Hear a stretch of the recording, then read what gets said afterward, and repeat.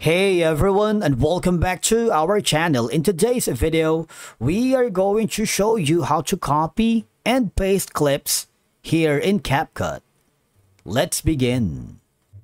Copying and pasting clips in CapCut is a great way to save time and quickly reuse sections of your video. It allows you to duplicate clips, effects, or text without having to redo everything manually. Whether you want to create a seamless transition, reuse a section of the video, or apply the same effects to multiple clips, the copy and paste feature in CapCut is super helpful. So how do we do it? First of all, you need to open the CapCut app, and from there, just click the create a new project to begin your work or start from scratch. In my case, I'm going to be choosing this project that I have in place.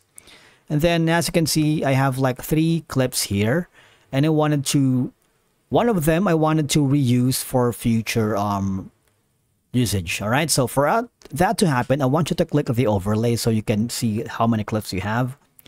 For example, I'm going to be choosing this right here, at the bottom clip. And for you to be able to copy that, once it's selected, you need to search for the option at the bottom that says copy If you don't have the copy, you have the duplicate. If you notice, you see that there's going to be two clips that has been already in the timeline, which copied the first one. I'm going to do the same for both. I'm going to select the image right here, click the duplicate, which will copy a clip here. For the uh, third video, I'm going to do that again, click the, the duplicate, which copies the clips. All right. Now, what I'm going to do is play the video all along since we have copied for all the clips, creating a time loop.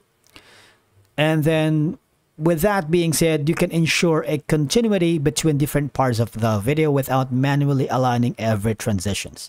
Especially if you have applied effects to a clip and want the same effect on another clip, you can copy and paste the effects along with it, the uh, clip. And of course, you don't have to uh, copy and paste everything here, it saves you time from having to recreate it. All right. And then once you are happy with this, you added your transitions, effects here. The next thing that you need to do now is to click the export button on top of the your screen.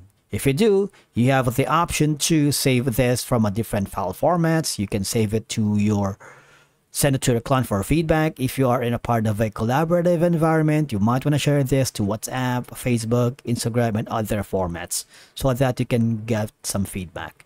And that's it for today's video. Thank you so much for watching. We will see you again in the next one.